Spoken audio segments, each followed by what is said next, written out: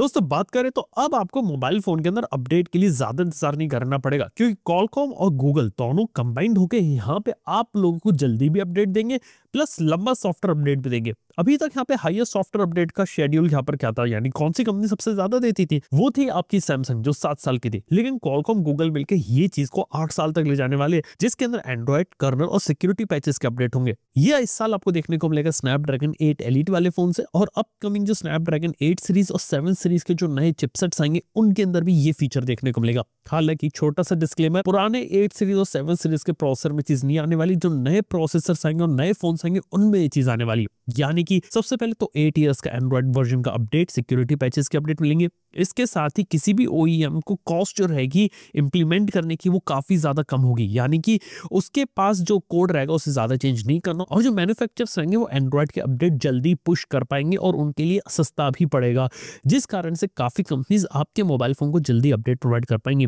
इसके साथ ही सिक्योरिटी की जो प्रॉब्लम काफ़ी सारे एंड्रॉइड फ़ोन में हो जाती है, क्योंकि आज के समय में एंड्रॉयड फ़ोन लंबे तो चल जाते हैं, लेकिन सिक्योरिटी पैच यहाँ पे पुराना रहता है, जिस कारण से सिक्योरिटी के थ्रेट्स यहाँ पे बढ़ जाते तो वो प्रॉब्लम यहाँ पे सॉल्व होगी और देखा तो नए प्लेटफॉर्म के साथ ही चीज़ें आ रही तो काफ़ी अच्छा है। लेकिन हाँ पुराने वाले को जो नुकसान रहेगा, वो तो यहाँ पे झेलना पड़ेगा। यानी कि उन फ़ोन को जिनके अंदर पुराना प्रोसेसर यहाँ पर आता है। इसके साथ एक बात यहाँ पे एक्सप्लेन कर देना चाहता हूँ कि कई सालों का यहाँ पर ये कहना रहता है कि यार मोबाइल फ़ोन तो यार हमारा आठ साल तक अपडेट ले लेगा। लेकिन क्या आठ साल तक हम मोबाइल फ़ोन को चला पाएँगे? वेल अगर आप एक दो साल पहले बात करते तो शायद आपकी बात में दम रहता लेकिन आज के समय में जो मोबाइल फ़ोन में डेवलपमेंट हो रहा है, वो चीज़ नहीं। सबसे पहले तो मोबाइल फ़ोन आज के समय में बहुत ज़्यादा रफ एंड टफ ड्यूरेबल बन रहा है। दूसरी चीज़ प्रोडक्ट के अंदर क्वालिटी इंप्रूव हुई है। और तीसरी चीज़, सबसे बड़ी जो चीज़ रहती थी कि मोबाइल फ़ोन आपका चलता रहेगा, लेकिन बैटरी का क्या होगा? बैटरी तो डिग्रेड करेगी, लेकिन नई सिलिकॉन कार्बन टेक्नोलॉजी के कारण यहाँ पे बैटरी डिग्रेडेशन रोका जा रहा है और बड़ी बैटरी मोबाइल फ़ोन में फिट की जा रही है। ऑलरेडी ओप्पो और वन जो है ना, यहाँ पे आठ हज़ार बैटरी वाला फ़ोन भी बना रहे जो यानी कि नॉर्मल बिकता ही रहेगा, दो सौ ग्राम से कम उसका वेट रहेगा, लेकिन एट थाउज़ेंड की बैटरी आएगी।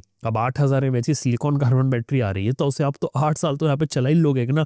ऊपर से फास्ट चार्जिंग में भी उसके अंदर कोई प्रॉब्लम नहीं आने वाली। देखा जाए तो ऑलरेडी एंड्रॉइड फ़ोन काफ़ी ज़्यादा एडवांस हो गए और आने वाले समय में एडवांसमेंट्स आएँगे, लेकिन इतने बड़े नहीं आएँगे कि आप कोई बड़ी चीज़ मिस कर जाओ। आप एक मोबाइल फ़ोन ले लोगे, लंबे समय तक चलाओगे सॉफ्टवेयर का सपोर्ट भी लेगा अपडेट भी लेगा नए नए फीचर्स भी आपको देखने को मिलते रहेंगे, क्योंकि मोबाइल ऑलरेडी काफ़ी ज़्यादा मेच्योर हो चुके हैं। आज के मोबाइल फ़ोन भी अगर आप तीन चार साल चलाना चाहो, आराम से चला सकते हो। और मेरे को नहीं लगता कि धीरे धीरे वेस्ट जो रहेगी ना ऐसी हो जाएगी कि सात साल, आठ साल तक आप मोबाइल फ़ोन को चला रहे हो। ये चीज़ बहुत सही लगी। देखते हैं, आठ साल तक एंड्रॉइड वर्जन के अपडेट कौन सी कंपनी जो प्रॉमिस रहती है उसे फुलफिल करती है? क्योंकि कई बार कई सारी कंपनीज़ तो आगे चल के प्रॉमिस कर देती कि हम अपडेट देंगे, लेकिन बाद में भूल भी जाती है। ये एक दिक्कत मैं मान सकता हूँ। हालाँकि गूगल और कॉलकॉम ने मिलकर प्रॉब्लम किस तरीके से सॉल्व की जाए, वो कर है, क्योंकि यहाँ पे एप्पल वाले तेज़ी से अपडेट दे रहे हैं। तो अब एप्पल को यहाँ पे काफ़ी ज़्यादा बड़ी टक्कर देखने को मिलने वाली है यहाँ पे। लेकिन इसके साथ भी DTH के बारे में बात है, यानी कि एयरटेल का डिजिटल टीवी आता है और टाटा प्ले आता है। कहा जा रहा है कि टाटा प्ले और एयरटेल के डिजिटल टीवी में मर्जर हो सकता है, जिसके अंदर दोनों की सर्विसेज़ एक साथ आ सकते हैं। अब इनके अंदर बातचीत वगैरह चल रही है, अब देखते कि यहाँ पर आगे चल के क्या रहता है और क्या चेंजेस आते हैं और कब आपको डीटीएच के अंदर क्या नई चीज़ें देखने को मिलती है। हालाँकि जो डीटीएच वाला जो बिज़नेस होता है केबल टेलीविज़न का, ये ओटीटी के आने के बाद काफ़ी ज़्यादा इम्पैक्ट हुआ है। हालाँकि लाइव टीवी चैनल्स की अभी भी रिक्वायरमेंट रहती है, लेकिन कई सारे लोग ऐसे जो मोबाइल फ़ोन में ओटीटी एप्स में ऑलरेडी स्विच कर चुके हैं। और देखा जाए तो डीटीएच के अंदर भी एक कॉन्सोलिडेशन आ रहा है। कई सारी कंपनीज़ खत्म हो रही है, कई सारी कंपनीज़ आपस में मर्ज हो रही है। देखने वाली बात होगी कि यहाँ पे आगे चल के क्या रहता है और क्या नए टाइप के प्रोडक्ट देखने को मिलते हैं और डीटीएच का आने वाला फ्यूचर यहाँ पे क्या रहता है? क्योंकि केबल टेलीविज़न हो गया डीटीएच हो गया ओटीटी एप्स हो गई चीज़ें काफ़ी इंटरेस्टिंग चल रही है मार्केट के अंदर यहाँ भी। इसी के साथ ही आप लोग एक बात बता सकते हो कि कॉलकॉम ने यहाँ पे अपना स्नैपड्रैगन एक्स सीरीज़ का यहाँ पे प्रोसेसर अनाउंस कर दिया, वो भी इंडिया के अंदर, और एसुस के साथ उसका लैपटॉप भी अनाउंस कर दिया। इसी कीमत लगभग सिक्सटी फाइव थाउज़ेंड है। हालाँकि लैपटॉप मैंने यहाँ पर चेक भी किया सोलह जी बी रैम आ रही है five hundred twelve G B S S D है। काफ़ी जल्दी बूट हो जाता है। 45 टॉप्स के साथ आता है। ऑन डिवाइस एआई का यूज़ कर सकता है और एआई के अंदर ये लोग कई सारी एप्स को भी रन कर सकता है। इवन इसका जीपीयू भी पावरफुल है कि यहाँ पे डीप सीक को भी रन कर सकता है। यस ये बहुत सही चीज़ है और ऑन डिवाइस एआई वाले जो लैपटॉप्स होते हैं ना कॉलकॉम उससे सस्ता बनाने की कोशिश कर रहा है और पूरी कोशिश कर रहा है कि ए के अंदर किस तेज़ी से एक बहुत बड़ा बूस्ट यहाँ पर लिया जाए और किस तेज़ी से यहाँ पे लोगों को एक बेटर प्रोडक्ट डिलीवर करवाया जाए। आज तक इंटेल की मोनोपली थी, फिर ए आई लेकिन स्नैपड्रैगन के आने से कुछ ना कुछ इम्पैक्ट पड़ रहा है। और अफोर्डेबल प्रोडक्ट अगर मार्केट में अगर आएँगे मार्केट के अंदर एक यूनिक सेलिंग पॉइंट बनेगा, यहाँ पे मार्केट में एक स्पेस क्रिएट होगा तो काफ़ी अच्छा क्योंकि इन लैपटॉप्स के अंदर अच्छी बात है कि बैटरी लाइफ बहुत अच्छी है। और परफॉर्मेंस कई मामलों में एप्पल के एम मैकबुक और एम वालों से भी ज़्यादा निकल जाती है। तो वो एक बहुत अच्छी चीज़ है। हालाँकि ये लैपटॉप अभी भी प्रॉपर गेमिंग वगैरह के लिए नहीं है और ना ही जो पुराने लेगेसी पुराने सॉफ्टवेयर अच्छे से रन कर सकते हैं।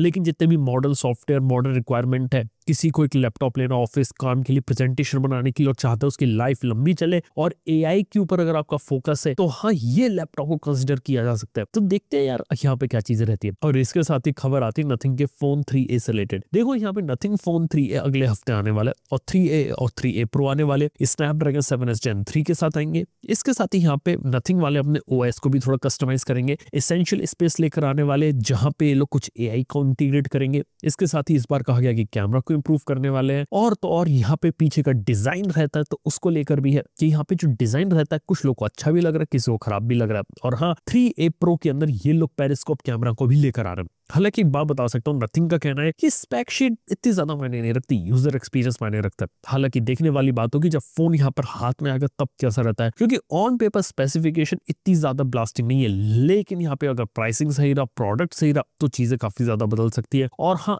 ये भी देखना है कि क्या नथिंग वाले अपना फ़ोन थ्री कब निकालते हैं? क्योंकि लिटरली फ़ोन थ्री का जो लॉन्च है ना, वो 2024 में होना था। लेकिन लिटरली 2024 हज़ार आपको कोई भी फ़ोन थ्री देखने को नहीं मिला। और 2025 में फ़ोन थ्री एक ही बातें हो रही है। लेकिन फ़ोन थ्री कब आएगा? वो एक देखने वाली बात है। उम्मीद करते हैं कि शायद जुलाई, अगस्त तक ये फ़ोन आपको देखने को मिल जाए। खैर, ये कुछ इंटरेस्टिंग टेक न्यूज़ मार्केट के अंदर चल रही थी तो यह बात मैंने आप लोगों के साथ डिस्कस करी और आप लोगों को बात बता सकता हूँ कि मार्केट के अंदर बहुत ज़्यादा जल्दी नए नए चेंजेस आ रहे हैं। और अगर स्मार्टफ़ोन वाले स्पेस देखा जाए तो थोड़ा सा तो गर्म रहेगा। नए नए फ़ोन भी आपको आने वाले समय में देखने को मिलेंगे। लेकिन एक बात बता सकता हूँ आप लोगों को, यहाँ पे सिर्फ़ मोबाइल फ़ोन तक बात नहीं रहेगी ईवी वाला मार्केट भी बहुत स्ट्रॉन्ग हो रहेगा और कई सारे नई नई टेक्नोलॉजीज़ और नई नई चीज़ें आपको और ज़्यादा मार्केट में देखने को मिलने लगेंगी। एक प्रोसेसर वाली चीज़ें आपको नहीं देखने को मिल रही है। ईवीज के अंदर, खासतौर पे इलेक्ट्रिक स्कूटर इलेक्ट्रिक बाइक्स में एडवांसमेंट आ रहे हैं और यहाँ तक कि आपको काफ़ी ज़्यादा चेंजेस देखने को मिलेंगे। आने वाले समय में आपके आईओटी बेस्ड अप्लायंसेस के अंदर, क्योंकि इंटरनेट ऑफ़ थिंग्स और एआई का इंटीग्रेशन किस तेज़ी से नॉर्मल होम को एआई का यूज़ करके बना दिया जाए, यहाँ पर भी बहुत ज़्यादा काम हो रहा है। और इसके लिए सबसे बड़ी बात है कि आपको कोई स्मार्ट स्विच स्मार्ट बल्ब खरीदने की ज़रूरत नहीं है। कैसे एक हब का यूज़ करके आपके घर को स्मार्ट बनाया जा सकता है। इस तरीके की चीज़ों पर भी काम चल रहा है। देखते हैं यहाँ पे चीज़ें किस तरीके से काम करती है। तो दोस्तों यार, ये था आज के इस पॉडकास्ट के अंदर। थैंक यू बने रहने के लिए। मैं आप सुनता हूँ अगले पॉडकास्ट में। Good bye